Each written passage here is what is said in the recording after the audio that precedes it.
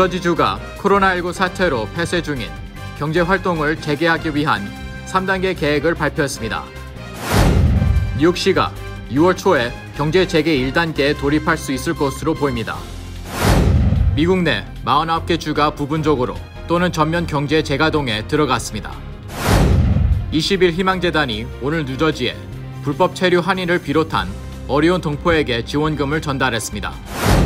바이오 기업 모더나가 코로나19 백신 임상 시험에서 항체가 형성되는 긍정적인 결과가 나왔다고 밝혔습니다. 뉴욕시에서 브루클린의 이스 뉴욕이 가장 많은 코로나19 감염 환자가 발생했습니다.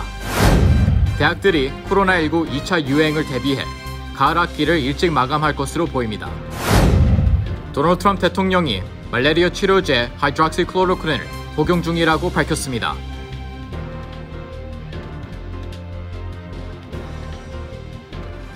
학자금, 결혼자금, 노후자금 준비. New Millennium Bank가 알뜰한 적금 상품을 준비했습니다. 3년 만기 적금 연이율 무려 2.65%, 무려 2.65%. New Millennium Bank와 함께 미래를 준비하세요. FDIC member and equal housing lender.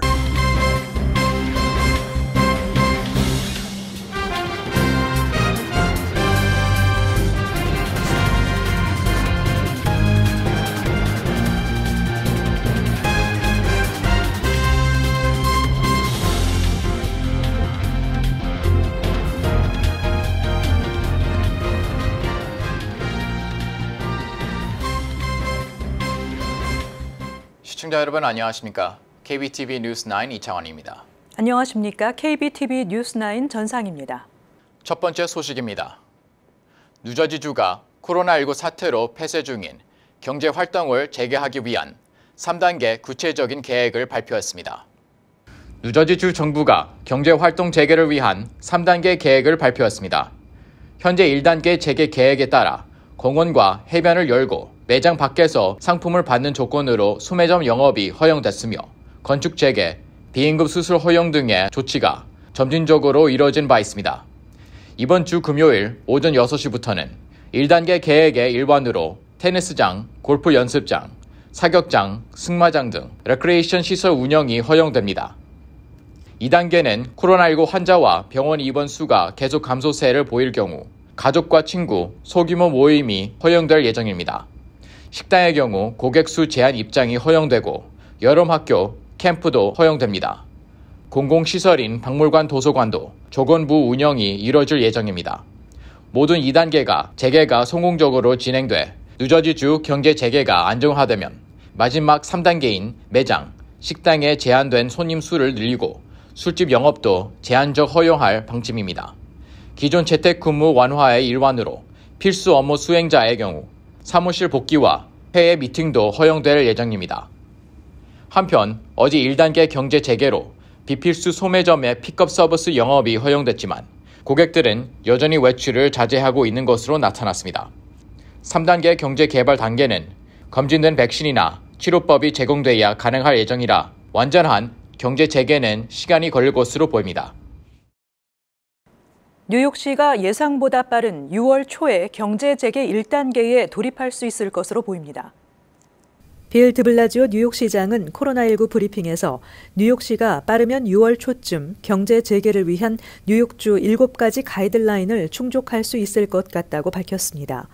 현재 뉴욕시는 10만 명당 하루 입원 2명 이하, 입원실과 중환자실 공실률 30% 이상, 주민 10만 명당 30명 이상의 역학 조사관 확보에 4가지 조건을 충족하지 못한 것으로 알려졌습니다. 현재 뉴욕시에서는 하루에 200명 정도가 입원하고 있고 입원실, 중환자실 공실률은 각각 29%와 24%입니다. 모든 기준을 충족한 것으로 발표된 웨스턴 뉴욕은 오늘부터 1단계 재개에 들어갔으며 캐피탈 지역은 곧 재개 일정이 공개될 예정입니다. 한편 드블라지오 시장은 뉴욕시 자체 제작 코로나19 진단검사 키트가 일선 진단검사장에서 사용되기 시작했다며 뉴욕 시민들에게 코로나19 감염 검사나 항체 검사를 받을 것을 권유했습니다. 현재 시의 검사 기준은 이전보다 완화돼 코로나19 최일선 대응자, 필수 업종 노동자, 1단계 업무 복귀 예정자, 의사의 추천이 있는 경우 등은 모두 검사를 받을 수 있습니다.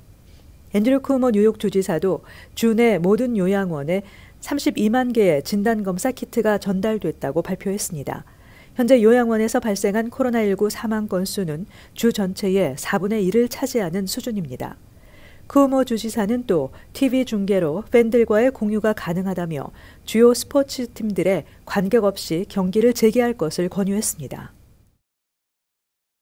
매사추세츠 주가 경제 활동을 재개하면서 미국 내 50개 주 중 커네티컷 주를 제외한 49개 주가 부분적으로 또는 전면 경제 재가동에 들어갔습니다. 찰리 베이커 매사추세츠 주지사는 현재 제조업과 건설 현장의 사업 재개를 허용하고 오는 25일 또 다른 경제 분야의 제한을 완화하는 등 단계적으로 재개를 확대하겠다고 밝혔습니다. 커네티컷주는 내일부터 식당과 사무실, 소매점, 야외 박물관 등이 문을 여는 1단계 재개에 들어가겠다고 밝혀 곧 50개 주가 전부 봉쇄령을 완화하게 될 전망입니다.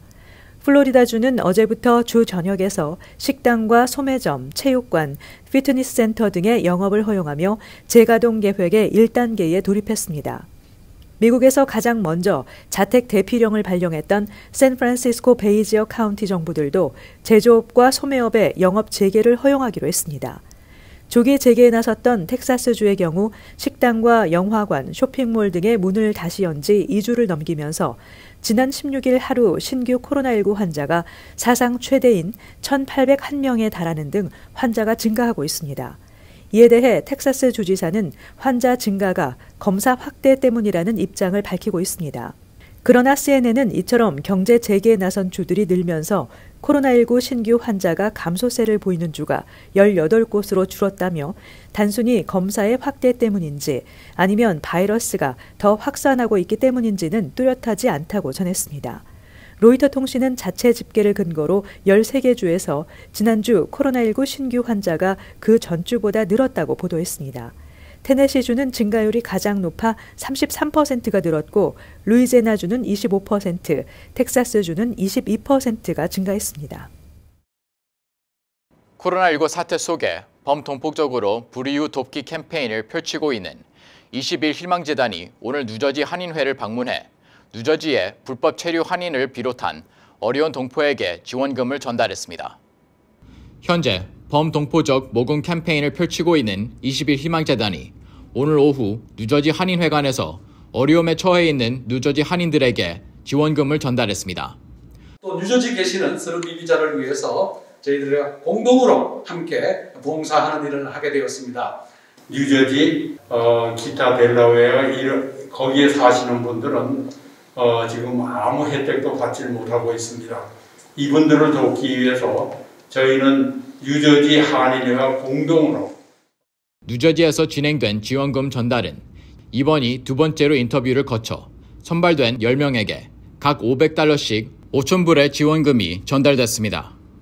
한편 20일 희망재단은 오늘 뉴욕 한인회 임원진들과 회의를 갖고 뉴저지 한인회와 공동추진위원회를 구성해 캠페인을 추진하기로 잠정 합의했습니다. 앞서 21 희망재단은 뉴욕 한인회와 공동추진위원회를 발족한 바 있습니다. 현재까지 21 희망재단에 기부한 단체와 개인으로는 한양마트 만불, 앤드루박 변호사 만불, 이명계 씨 유가족, 뉴 밀레니엄 뱅크, 범민족화해 협력 뉴욕 협의회, 뉴욕 체육회장, 뉴욕 광복회장 등의 기부금을 포함해 총 22만 여불입니다. 이 기부금은 뉴욕 가족폭력 상담소 5천불, 시민참여센터 5천불, 민권센터 15,000불 등을 포함해 590 가정에 전달됐습니다. 이번에 저희가 21 희망재단에 기금을 기증하게 된 이유는 재단이 보이는 행사 내용이 너무 좋았고요. 동포사의 어려운 이웃들을 위해서 이 발벗고 나서는 모습도 보기 좋았고요.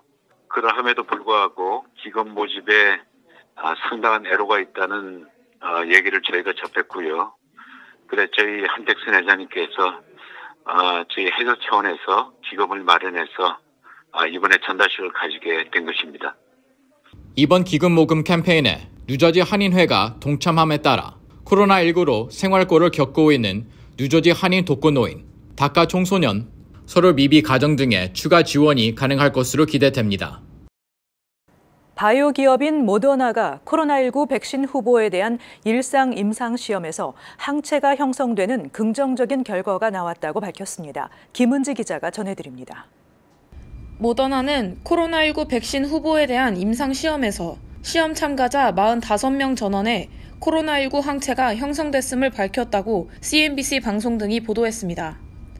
모더나는 시험 참가자 45명을 15명씩 세 그룹으로 나눠 백신 후보 물질을 각각 25 마이크로그램, 100 마이크로그램, 250 마이크로그램씩 28일의 간격을 두고 두 차례에 걸쳐 투여했습니다.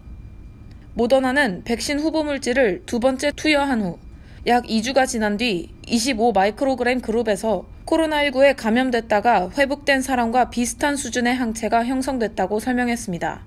또 100마이크로그램 그룹에서는 코로나19에 감염됐다가 회복된 사람을 능가하는 수준의 항체가 만들어졌다고 전했습니다.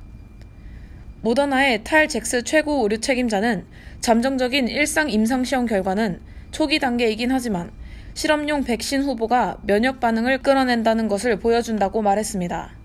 KBTV 뉴스 김은지입니다.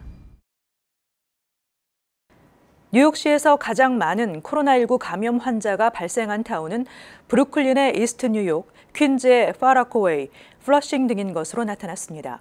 이상경 기자가 전해드립니다. 뉴욕시 보건부가 발표한 사망자 통계에 따르면 타운별 사망자는 브루클린 이스트 뉴욕이 612명으로 최고를 기록했으며 퀸즈의 파 라커웨이 445명, 플러싱 434명, 브롱스의 펠렘 가든 429명, 코니 아일랜드 416명 등의 순이었습니다.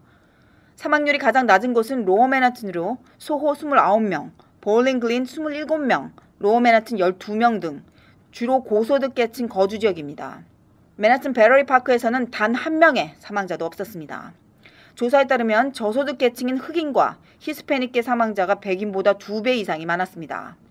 빌 드블라지오 시장은 이와 관련해서 이번 조사 결과는 뉴욕의 인종적 경제적 불균형이 얼마나 심각한지를 보여주고 있다면서 이것이 미국의 건강관리의 현 주소라고 지적했습니다. 한편 뉴욕시 주택국이 관리하는 시형 아파트에서는 총 943명의 주민이 사망한 것으로 드러났습니다. KBTV 뉴스 이상경입니다. 대학들이 코로나19 2차 유행을 대비해 가을 학기를 일찍 마감할 것으로 보입니다. 이상경 기자가 전해드립니다. 퍼드대학과 라이스대학, 크레이튼대학, 사우스캐롤라이나 대학 등은 정규 가을 방학을 취소하고 추수감사절 전 대면 수업을 끝낼 계획이라고 CNN이 보도했습니다. 퍼드대는 9월 첫째 주 월요일인 노동절 휴일에도 수업을 중단하지 않을 계획입니다. 밥 캐슬런 사우스캐롤라이나 대학교 총장은 수천 명의 학생과 교직원이 가을방학 동안 집에 갔다가 다시 캠퍼스로 돌아올 경우 공중보건상 위험성이 높을 것으로 평가해 이같이 학사 일정을 조정하기로 했다고 설명했습니다. 또 대면 수업을 일찍 마감하고 추수감사절 후 원격 수업을 시작하기로 한 것은 코로나19의 2차 유행의 위험성을 줄이기 위한 것이라고 밝혔습니다. 이들 대학은 추수감사절 뒤에는 온라인 수업을 진행하고 기말고사나 보고서 제출 등도 온라인으로 실시할 계획입니다. 크레이튼대는 가을 학기를 좀 더 일찍 시작한 뒤 기말고사를 포함해 모든 학사 과정을 추수감사절 전 끝낼 계획이라고 밝혔습니다. KBTV 뉴스 이상경입니다. 도널드 트럼프 대통령 자신이 game changer로 극찬한 말라리아 치료제 하이드록시 클로로퀸을 복용 중이라고 밝혔습니다. 트럼프 대통령이 코로나 바이러스에 일부 효험이 있는 것으로 알려진 말라리아 치료제 하이드록시 클로로퀸을 복용하고 있다는 사실을 홍보했다고 더 힐이 보도했습니다. 그동안 이 약에 대해 적극적인 찬양을 했던 트럼프 대통령은 최근 코로나 감염 예방을 위해 백악관 주치의와 상의했고 의사는 적극적으로 권하지 않았지만 본인이 원해서 처방전을 받았다고 밝혔습니다. 트럼프 대통령은 이 약을 열흘 전부터 매일 한 알씩 먹기 시작했고 아직까지 아무런 부작용이 없다며 안전함을 강조했습니다. The frontline workers, many, many are taking it. I happen to be taking it. I happen to be taking it. Hydroxychloroquine. I'm taking it. Hydroxychloroquine. When? Right now, yeah. Yeah, when? A couple of weeks ago, I started taking it. Yeah, White House doctor. Didn't recommend. No, I asked him, "What do you think?" He said, "Well, if you'd like it." I said, "Yeah, I'd like it. I'd like to take it." 한편 하이드록시클로로퀸은 아직 정부 차원의 승인이 나지 않고 코로나 바이러스 치유와 관련된 구체적 효과가 입증되지 않은 상황입니다. 그러나 스스로 의사처럼 행동하는 대통령의 홍보가 이어지며 이 약은 국제적으로 커다란 유명세를 타고 있는 실정입니다.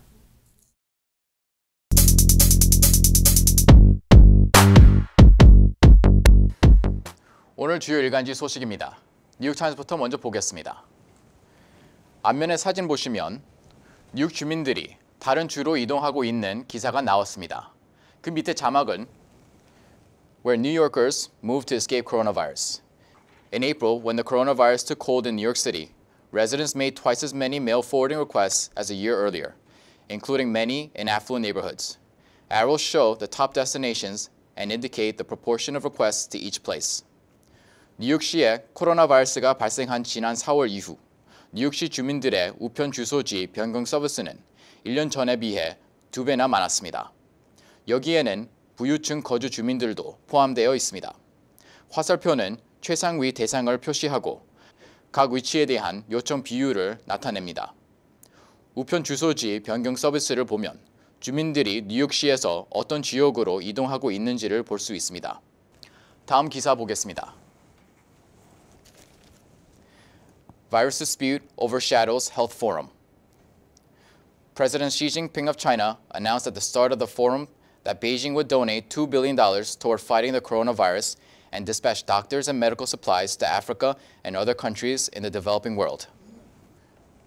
시진핑 주석은 포럼에서 중국이 코로나 바이러스 퇴치를 위해 20억 달러를 기부할 것이라고 발표했습니다. 그리고 의사와 의료용품을 아프리카와 다른 개발도상국들에 파견한다고 합니다. But it was also seen, particularly by American officials, as an attempt by China to forestall closer scrutiny of whether it hid information about the outbreak to the world.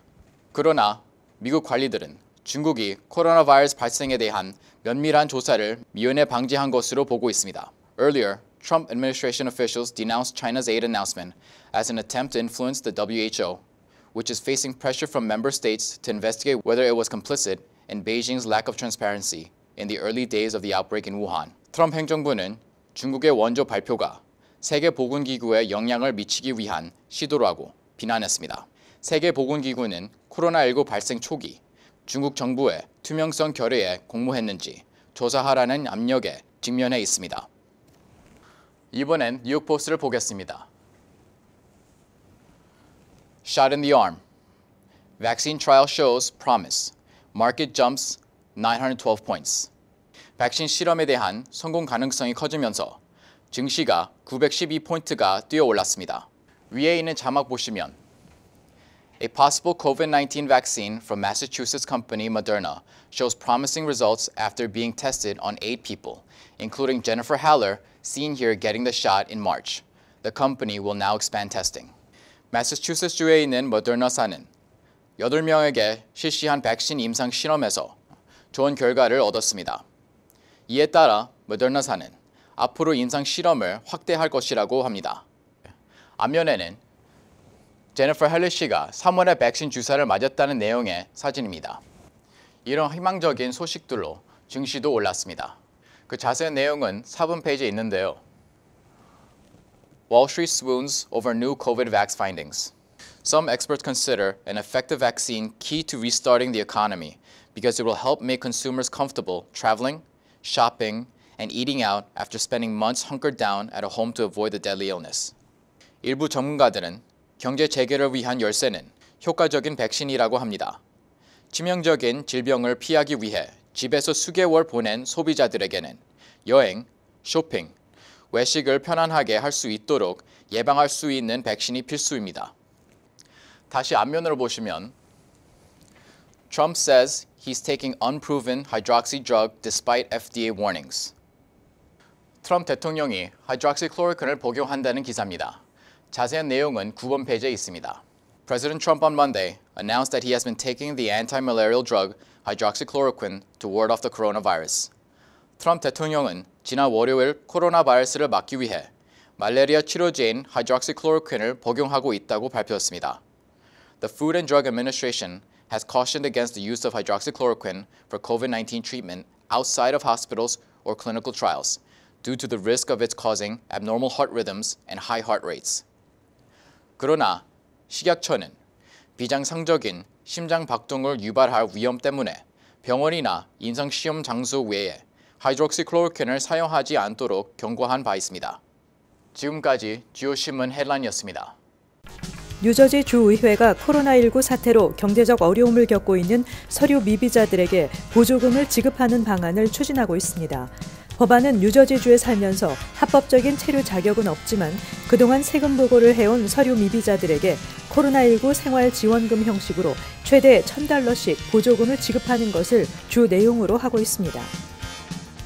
뉴저지주 경찰국에 따르면 코로나19 사태가 발생한 지난 3월 이후 지난 16일 현재까지 뉴저지주 전역에서 체포 건수는 지난해 같은 기간보다 65% 감소했고 총격 사건은 19%, 가정폭력 신고는 16% 감소했습니다. 범죄가 감소한 것은 코로나19로 인해 주민들의 외출이 줄어들고 집에 머무는 시간이 늘어난 것이 주요 요인으로 분석됩니다. 2020년도 내셔널 메릿 스칼라십 일반 장학생의 뉴욕 뉴저지 지역 한인 학생 17명이 최종 선정됐습니다. 뉴욕시에서는 10명, 뉴저지에서는 7명의 한인 학생이 최종 선정돼 2,500달러의 장학금을 지급받게 됐습니다. 지난 1955년 시작돼 올해로 65회째인 내셔널 메릿 스칼라십은 올해는 7,600여 명의 장학생에게 총 3천만 달러의 장학금을 지급합니다. 뉴욕시 인권위원회가 코로나19 사태와 관련해 아시안 커뮤니티를 대상으로 한 차별이나 괴롭힘에 대한 사례와 혐오 범죄 신고에 대한 town hall 행사를 엽니다. 오는 21일 오후 3시부터 한국어로 진행되는 이 town hall 행사는 아시안 커뮤니티 구성원들이 자신들의 권리와 의무를 제대로 숙지할 수 있도록 교육하기 위한 것이 목적입니다.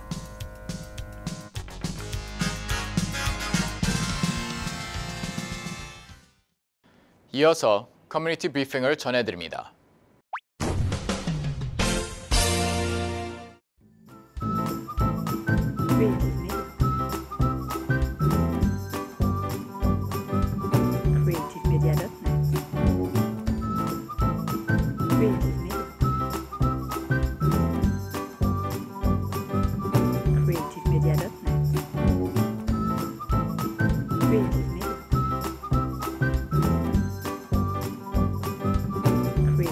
Yeah, that's.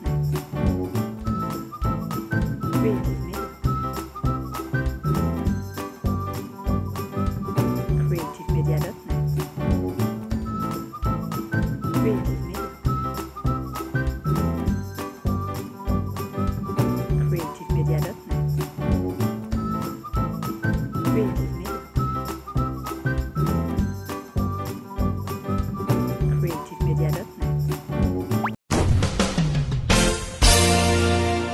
이어서 환율과 증시 전해드립니다.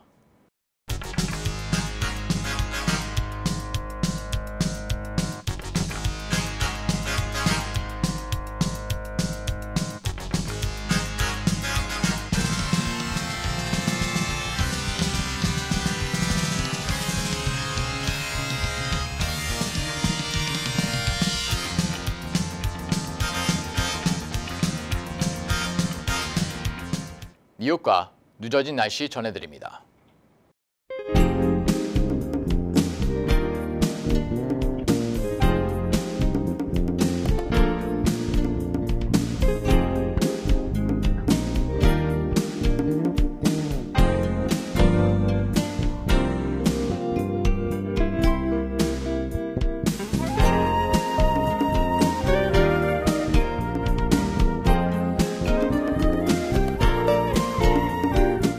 대부분의 사람들은 마음먹은 만큼 행복하다고 합니다.